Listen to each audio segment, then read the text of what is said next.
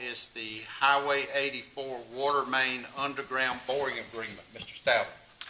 Yes, sir. We've had three owner, property owners request water service on the south side of Highway 84 West at James Road. This is going to require a jack and bore to put in a 12-inch water main. After discussions with the three owners and the Utilities Department, an agreement has been drawn up to split these costs evenly.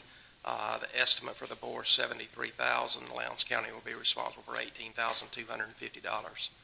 Staff recommends the agreement be approved per the terms. Okay. Any questions for Mr. Stalvey? I, I just had one. Sure. And it might not even be for Mr. Stalvey. I just, I didn't know they paid that amount of money for boring, uh, to connect the county water. I mean, I think it's eighteen thousand each person's going to have to pay? Correct. Okay.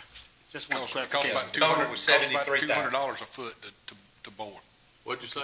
Costs about two hundred dollars a foot to bore.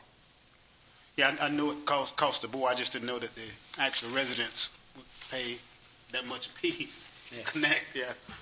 Interesting. There's Any other questions? three residents. Hearing none, I'll entertain a motion. Motion to authorize the chairman to approve the agreement per the terms. Do we have a motion to authorize the chairman to approve the agreement per the terms? Is there a second? Second. We have a second. Need a discussion?